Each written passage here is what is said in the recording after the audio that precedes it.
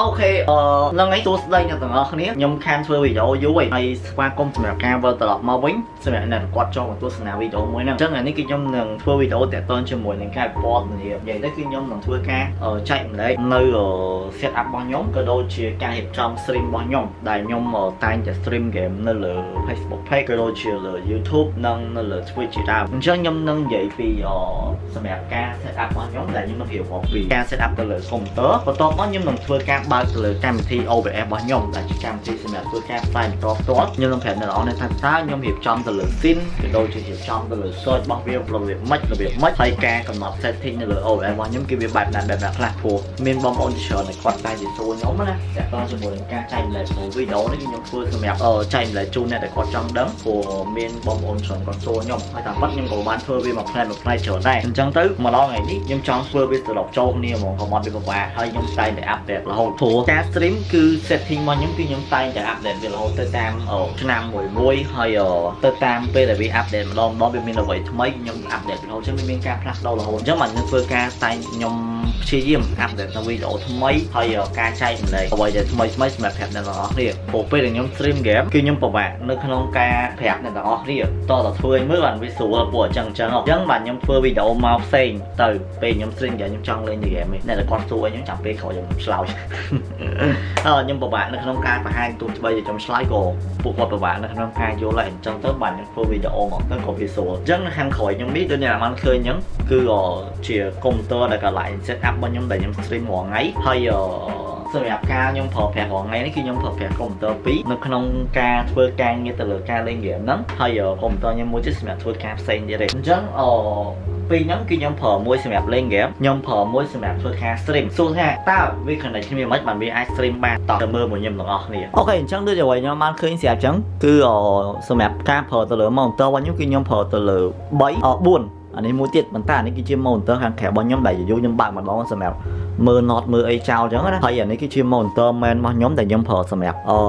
លេង game ហើយខ្ញុំមាន webcam ដាក់នៅខាងលើអញ្ចឹងទៅហើយខ្ញុំមាន webcam មួយទៀតនៅខាងឆ្វេងអឆ្វេងដៃហ្នឹងហើយសម្រាប់ចាប់មើលទៅលើ keyboard ហើយ mouse របស់ខ្ញុំហើយខ្លួនរបស់ខ្ញុំនៅខាងឆ្វេងហើយខាងឆ្វេងដៃខ្ញុំ monitor មួយទៀតអានេះ monitor មួយទៀត monitor នេះខ្ញុំដាក់វាប្រឈរអញ្ចឹងសម្រាប់ខ្ញុំមើលឆាតអ្នកនរគ្នាហើយ monitor នៅខាងឆ្វេងដៃគឺវាមានកម្រិត 2K ខ្ញុំប្រើសម្រាប់កាត់វីដេអូសម្រាប់ទស្សនាទៅលើវីដេអូសម្រាប់ធ្វើការកំណត់ទៅលើពេលដែលខ្ញុំ stream កាន់ទៅលើ OBS keyboard របស់ខ្ញុំគឺវាមាន12 mouse មាន12គឺសម្រាប់បញ្ជាទៅលើកុំព្យូទ័រផ្សេងគ្នាកុំព្យូទ័រមួយនេះគឺសម្រាប់ខ្ញុំធ្វើការលេង game ដែលខ្ញុំ build ឡើងមួយហ្នឹងគឺយកលេង game ហើយកុំព្យូទ័រនៅខាងក្រោមនេះគឺខ្ញុំប្រើសម្រាប់ stream ដែលខាងលើគឺខ្ញុំប្រើប្រាស់ដោយ CPU Core i7 87 00K RAM 610G ហើយ SSD ខ្ញុំមកគ្រាប់ជាមួយនឹង VGA ខ្ញុំគឺ18 ASUS ហ្នឹងហើយសម្រាប់កុំព្យូទ័រខ្ញុំខាងក្រោមគឺ CPU Core i7 ជំនាន់ទី6ដូចជា6ម៉ាននេះភ្លេចបាត់ហើយដល់ជំនាន់ទី6ហ្នឹងហើយហើយសម្រាប់ VGA គឺខ្ញុំប្រើប្រាស់ដោយ16ចំពោះ RAM របស់ខ្ញុំគឺ 610G ហើយ SSD ខ្ញុំប្រើ2គ្រាប់ព្រោះមួយខ្ញុំដាក់ Windows មកគ្រាប់ដែលខ្ញុំទៅទិញមកក្រោយនេះគឺខ្ញុំប្រើដាក់សម្រាប់អឺ record game ពេលដែលខ្ញុំ stream ហើយខ្ញុំមានអឺមួយទៀតគឺអាហ្នឹងគឺជា capture card ដែលសម្រាប់ connect ពីកុំព្យូទ័រមួយនេះទៅកុំព្យូទ័រមួយទៀត capture នៅសលេងជាមួយក៏ដូចជាការ capture ទៅលើ screen game ដើម្បីធ្វើការយកវាមក stream នៅលើកុំព្យូទ័រខ្ញុំមួយទៀតហើយការប្រើប្រាស់អ៊ីនធឺណិតរបស់ខ្ញុំគឺខ្ញុំប្រើបណ្ដាញចែកជាពីរខ្សែដោយ corporation ក៏ដូចជាឧបត្ថម្ភពីខាង NTC ផ្ទាល់បាទអរគុណច្រើនមែនទែន ដែលមួយខ្ញុំប្រើសម្រាប់លេង game មួយគឺខ្ញុំប្រើសម្រាប់ stream នៅខាងក្រោមផ្សេងនិង record video ផ្សេងអានេះគឺជាការ set up របស់ខ្ញុំហើយអញ្ចឹងនៅខាងលើនេះឆ្វេងដៃខ្ញុំនេះគឺមានមួយដែលជា live សម្រាប់បាញ់នៅពេលដែលខ្ញុំ stream ឲ្យវាភ្លឺមុខខ្ញុំអញ្ចឹងណាប៉ុន្តែឥឡូវគឺខ្ញុំអត់សូវប្រើវាខ្ញុំបិទវាចោលគឺខ្ញុំប្រើប្រាស់ភ្លើងកន្លែង logo របស់ខ្ញុំ GMK នេះអញ្ចឹងពេលដែលខ្ញុំ stream គឺខ្ញុំតែងតែបើកវាឃើញទេព្រោះអានោះមានគិតថាវាគ្រប់គ្រាន់អញ្ចឹងណាហើយខ្ញុំអត់សូវបើកអាភ្លើងអំពូលសសនេះទេ ខ្ញុំតែងតែបិទវាចោលប៉ុន្តែខ្ញុំវាយពលឺរបៀបអញ្ចេះគឺខ្ញុំបើកពលឺខ្ញុំបើកពណ៌ខៀវអញ្ចេះទាំងអស់អញ្ចឹងអញ្ចឹងដល់ពេលដែលខ្ញុំ stream មកគឺព្រោះវាចេះអានេះមកស្រាប់ហើយគឺវាឃើញមកគឺវា background វារៀងពណ៌ពណ៌រៀងខៀវអញ្ចឹងហ្មងព្រោះខ្ញុំចង់ដាក់ពណ៌ផ្សេងក៏បានដែរតែខ្ញុំចូលចិត្តពណ៌ហ្នឹងអញ្ចឹងពេលខ្ញុំ stream គឺខ្ញុំវាយភ្លើងប៉ុណ្្នឹងឯងសម្រាប់បន្ទប់របស់ខ្ញុំហើយអូខេ that's all ខ្ញុំចាប់មកនេះជាងវិញ ខ្ញុំបិទភ្លើងវាអស់អញ្ចឹងអានេះគឺជាការ set up របស់ខ្ញុំហើយខ្ញុំប្រើប្រាស់កាសផ្សេងទៀតហ្នឹងហើយកន្លែងនេះកន្លែងបញ្ចូលកាសរបស់ខ្ញុំអូខេអញ្ចឹងខ្ញុំគិតថាអ្នកនរនេះប្រកាសជាចង់អឺមើលពីការកំណត់ទៅលើ scene ហើយនឹង search នៅលើកម្មវិធី OBS របស់ខ្ញុំតោះ ទៅទស្សនាមួយខ្ញុំទាំងអស់គ្នាអូខេខ្ញុំថាចង់ capture screen ជូនអ្នកទាំងអស់គ្នាតែវាពិបាកខ្ញុំប្រើកាមេរ៉ា record ពីលើ screen ហ្មងទៅអានេះគឺជា OBS របស់ខ្ញុំដែលខ្ញុំធ្វើការកំណត់ទៅលើ scene របស់វា scene ទី1នេះគឺ scene ដែលខ្ញុំសម្រាប់ធ្វើការ stream capture ទៅលើ game ឃើញមានកន្លែង star ដូចតែបានឃើញស្រាប់អញ្ចឹងមានកន្លែងនេះឧបត្ថម្ភហើយនេះគឺជា screen កុំព្យូទ័ររបស់ខ្ញុំមួយទៀតឥឡូវខ្ញុំអត់បានបើក game នេះ វា capture screen ទាំងមូលហ្មងដល់ខ្ញុំប្រើប្រាស់នៅ capture card ហ្នឹងសម្រាប់អ capture ពី screen កុំព្យូទ័រមួយទៅដាក់កុំព្យូទ័រមួយទៀតដោយប្រើប្រាស់ទៅលើកម្មវិធី capture របស់វាឬមកក៏ប្រើប្រាស់ទៅលើ OS របស់វា ដែលនេះគឺជា game ដែលខ្ញុំបើក PUBG ហ្នឹងហើយអញ្ចឹងវា capture screen ទាំងមូលរបស់យើងនៅក្នុងកុំព្យូទ័រមួយទៀតមកមកអឺ scene ទី2របស់ខ្ញុំគឺខ្ញុំប្រើប្រាស់ទៅលើ webcam ហើយខ្ញុំមាន start zone ខ្ញុំមាន loading be right back ហើយនឹង ending ដែលសម្រាប់ឲ្យគេធ្វើការរងចាំក៏ដូចជាអបញ្ចប់ stream និងចាប់ផ្ដើម stream របស់ខ្ញុំការកំណត់ចងទៅលើ search របស់ខ្ញុំអ្នកនរនេះឃើញវាអត់សូវច្រើនទេតាមប៉ុណ្ណឹងច្រើនណា គ្រាន់តែខ្ញុំដាក់វាចូល category មួយផ្នែកមួយផ្នែកដោយខ្ញុំមានខាងលើគឺខ្ញុំប្រើប្រាស់កំណត់ដោយ logo sponsor របស់ខ្ញុំហើយខ្ញុំមានជាកញ្ចប់មួយកន្លែងនេះកន្លែងជាកន្លែង chicken របស់ខ្ញុំឃើញដល់ពេលខ្ញុំបានមកខ្ញុំចុចមួយបានមកចុចមួយតែខ្ញុំចង់ប្រើវាគឺខ្ញុំត្រូវតែចុចវាដើម្បីផលិតវាមកក្រោមឃើញវាអស់មកក្រោមហ្នឹងអញ្ចឹងដល់ពេលបិទវាវិញវាឡើងទៅលើវិញខ្ញុំតាមមួយផ្លែផ្លែកន្លែងនេះគឺជាកន្លែង webcam ដែលខ្ញុំសម្រាប់ចងនៅ webcam របស់ខ្ញុំទាំងអស់ចូលគ្នា មានអាខាង cam cam ក៏ដូចជា frame webcam ទី1 webcam ទី2ប៉ុន្តែខ្ញុំបិទអានេះបាត់ហើយហ្នឹងហើយអញ្ចឹងពេលខ្ញុំអត់ប្រើវិញខ្ញុំបិទវាចោលកន្លែងនេះគឺជាកន្លែងខ្ញុំចងទៅលើ Facebook Star មានទាំង animation មានទាំងការបង្ហាញលុយដែលខ្ញុំបានសរុបហើយនឹង last star ជាដើមបន្ទាប់មកមានកន្លែង assist របស់ខ្ញុំសម្រាប់ដាក់ ID Payo ក៏ដូចជាវិញនិង donation ហើយខាងក្រោមគេគឺខ្ញុំដាក់ទៅលើ Egato Egato នេះគឺជា capture card របស់ខ្ញុំដែល capture screen មកពីកុំព្យូទ័រមួយទៀតហ្នឹងឯងហ្នឹងហើយ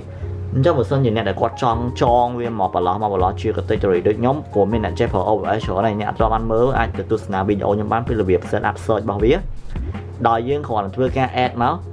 ហើយយើងយកពាក្យគ្រប់ហ្នឹងគឺយើងអាចធ្វើការបង្កើតជា category របស់វាមួយមួយបានហើយនេះឃើញអត់អញ្ចឹងយើងលុបវាផ្សេងមិញមកហើយយើងទាញយើងមាន search អីដែល យើងគិតថាអាចដាក់ចូលបានមួយផ្លែផ្លែបានយើងអាចទាញវាចូលគ្នាបានកុំឲ្យវាមានភាពញ៉ៃញ៉ៃស្មុគស្មាញអញ្ចឹងណាការកំណត់ទៅលើ setting របស់ខ្ញុំនិយាយទៅអាកន្លែង general នោះគឺវាអត់មានកន្លែងដែលខ្ញុំត្រូវផ្លាស់ប្ដូរទេសម្រាប់កន្លែង stream គឺដូចគ្នាគឺអ្នកអង្គគួរយល់កន្លែង stream គឺសម្រាប់កំណត់ទៅលើ stream key ក៏ដូចជា server ដែលយើងចង់ stream និង service ដែលយើងចង់ start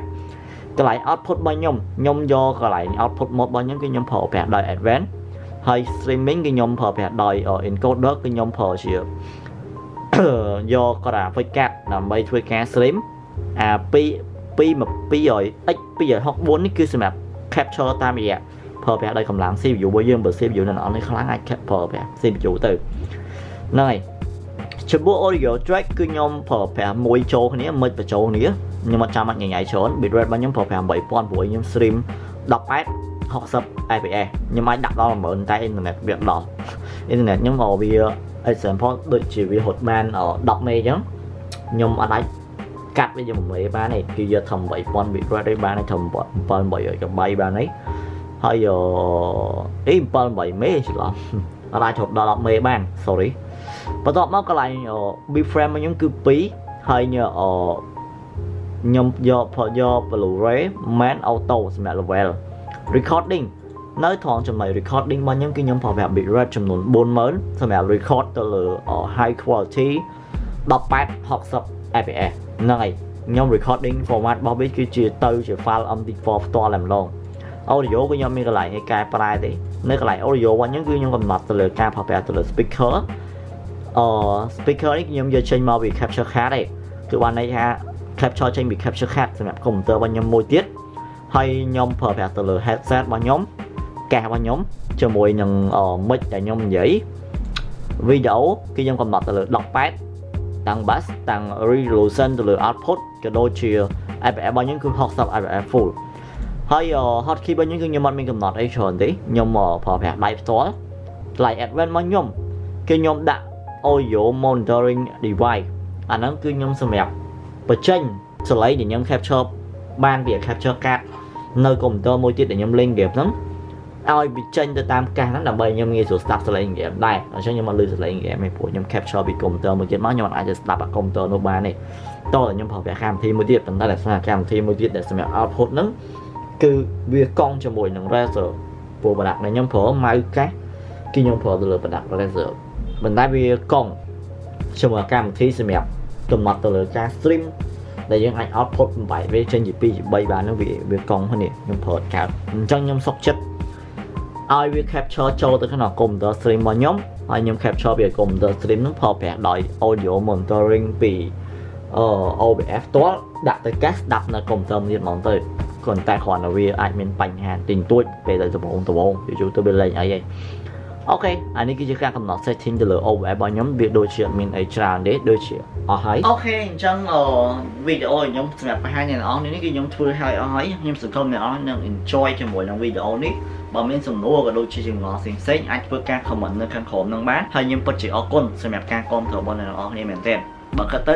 នេះគឺជាវីដេអូទី1របស់ខ្ញុំសម្រាប់ឆ្នាំ2019ខ្ញុំកំពុងតែចង់រនឹកធ្វើអ្វីដែលថ្មីសម្រាប់ជូនអ្នកទាំងអស់គ្នាព្រោះឆ្នាំថ្មីខ្ញុំអត់ចង់ឲ្យវានៅដដែលដដែលខ្ញុំតែងតែផ្លាស់ប្ដូររកអីដែលប្លែកប្លែកជូនអ្នកទាំងអស់គ្នាអញ្ចឹងបន្ទាប់ពីខ្ញុំបានចាក់ចេញពីជីវិត streamer ហើយគឺខ្ញុំអាចសម្រាប់ធ្វើវីដេអូចង់ចែកម្លែកអ្នកដែលគាត់មានឱកាសចង់ធ្វើជា streamer ចង់អឺរលុយតាមរយៈ online game ខ្ញុំនឹងព្យាយាមចែកម្លែកបានច្រើននៅវិធីសាស្ត្រផ្សេងផ្សេងដែលអាចឲ្យយើងរកចំណូលបានតាមរយៈការលេងហ្គេមក៏ដូចជាការកម្សាន្តហ្គេមរបស់យើងកុំឲ្យគិតថា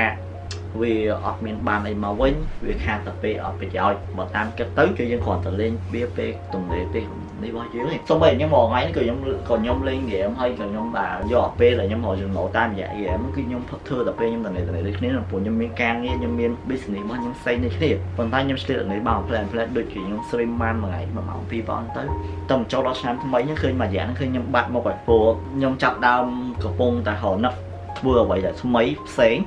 ហើយយកលពលមួយនេះរបស់ខ្ញុំខាងក្រៅផងតែហៅស៊ីកាអីហើយខ្ញុំចង់ចង់គិតផង អញ្ចឹងទៅខ្ញុំផ្អាកមួយរយៈសិនប៉ុន្តែខ្ញុំនៅ stream ជូនអ្នកនរអញ្ចឹងគ្រាន់ថាវាដូចមុនទេគឺអាចនឹងពីរថ្ងៃ stream ម្ដងសម្រាប់កំសាន្តលេងពេលដែលខ្ញុំទំនេរជាមួយអ្នកទាំងអស់គ្នាអញ្ចឹងទៅហើយខ្ញុំរកមើលអ្វីដែលខ្ញុំថ្មីត្រូវធ្វើវីដេអូជូនអ្នកទាំងអស់គ្នាគឺខ្ញុំនឹងធ្វើការចែកម្លែកតាក់ទងជាមួយនឹងបទពិសោធន៍ដែលខ្ញុំបានដើរឆ្លងកាត់កន្លងមកក៏ដូចជាអ្វីដែលខ្ញុំត្រូវបានខ្ញុំត្រូវចែកគឺខ្ញុំនឹងចែកជូនអ្នកទាំងអស់គ្នានៅពេលដែលធ្វើការសំណូមពរវ៉េះអាចសួរសំណួរនៅតាម comment នៅក្រោមនឹងបានអូខេអញ្ចឹងចង់បញ្ចប់វីដេអូគឺខ្ញុំសូមអរគុណដល់188 bit ដែលជាគេហទំព័រសម្រាប់ធ្វើការភ្នាល់នៅកីឡាអេឡិចត្រូនិកដែលអ្នកនរនេះអាចធ្វើការចូលទៅ register តាមរយៈដំណរនៅ link ខាងលើហ្នឹងហើយអាចធ្វើការចុះឈ្មោះនៅក្នុងការ bit ទៅក្រុម Dota 2ក្រុម CS:GO PUBG ក៏ដូចជា game online ផ្សេងៗបាន តាមរយៈគេហទំព័រ188 bit បានហើយខ្ញុំសូមអរគុណដល់ខាង One Gear One Gear គឺជាហាងដែលគាត់លក់អឺសម្ភារៈកុំព្យូទ័រអេឡិចត្រូនិកក៏ដូចជាការបៀទៅលើកុំព្យូទ័រគឺមាននៅ One Gear ខ្ញុំអាចជឿទុកចិត្តបានហើយកុំព្យូទ័រខ្ញុំអាចក្រោយក៏គាត់អ្នកបៀអីដែរ Yeah very nice ហើយខ្ញុំសូមអរគុណដល់ក្រុមហ៊ុនអ៊ីនធឺណិត NTC សម្រាប់ការគ្រប់គ្រងទៅលើអ៊ីនធឺណិតរបស់ខ្ញុំទៅប្រើប្រាស់សម្រាប់លេងហ្គេម ខ្ញុំមិនមែនចេះតែប្រម៉ូទប្រម៉ូទទេមែនប្រសាមែនអ៊ីនធឺណិតគាត់ល្អមែន smooth ហើយ public IP សម្រាប់អ្នកដែលគាត់ចូលចិត្តលេង game ក៏ដូចជាអ្នកដែលគាត់ stream game ហើយអ្នកដែលគាត់ត្រូវការអ៊ីនធឺណិតខ្ពស់ដើម្បីធ្វើការការងារក៏ដូចជាការ upload ទៅលើវីដេអូនិងឯកសារផ្សេងៗ very nice តំណនៅខាងលើហ្នឹងអាចទៅតាក់ទងបានផលការឈ្មោះខ្ញុំវាបានបញ្ចុះតម្លៃចំនួន10%អឺ sponsor ច្រើនពេកចង់ភ្លេចអស់អរគុណដល់ man អូភ្លេចធំជាងគេបងអូខេ man sponsor របស់ខ្ញុំសូមអរគុណដល់ MSI Gaming អ្នកនរសម្រាប់ប្រភេទ platform gaming អ្នកនរមានបំណងចង់ស្វែងរកដែលមានតម្លៃសមរម្យក៏ដូចជារចនាប័ទ្មនិង performing ស័ក្តិសមសម្រាប់ធ្វើការលេង game ក៏ដូចជាធ្វើការងារធំធំដូចជា render អីហ្នឹង Yeah MSI ខុសឯងសម្រាប់ laptop ចប់តែហ្នឹងហើយអរគុណសម្រាប់ការទស្សនារបស់អ្នកនរនេះជួបគ្នាជាមួយនឹងវីដេអូក្រោយ